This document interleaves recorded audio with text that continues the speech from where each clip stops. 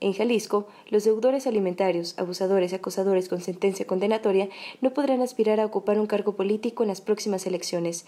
La diputada panista Mirele Montes Agredano argumentó que la reforma a la Ley 3 de 3 contra violencia aplica para los aspirantes a gobernadores, presidentes municipales y legisladores. Fue una reforma que se estuvo trabajando desde hace más de un año de manera en conjunta con mi queridísima Lolis. Ella presentó su iniciativa, yo presenté mi iniciativa y justo la semana pasada, el jueves para ser exactos, ya se publicó en el periódico del Estado de Jalisco. ¿Qué nos va a dar esta gran reforma? Nos va a dar en un primer momento tranquilidad a las mujeres, porque en la política eh, las mujeres somos más violentadas. A nivel federal esta ley es transversal y aplica para que ningún servidor público en el Poder Ejecutivo o Judicial pueda ocupar un cargo. Sin embargo, queda pendiente asegurar que ningún funcionario público con denuncia por acoso, hostigamiento y adeudo alimentario y no solamente con sentencia condenatoria ocupe un cargo público.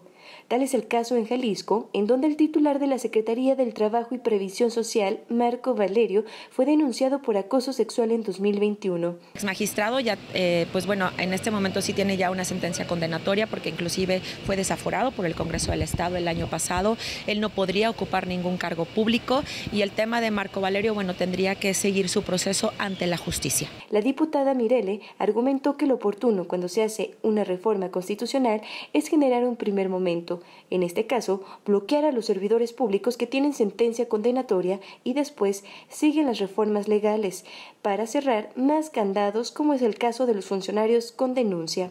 Con imágenes de Juan González para UDGTV Canal 44, María Ramírez Blanco.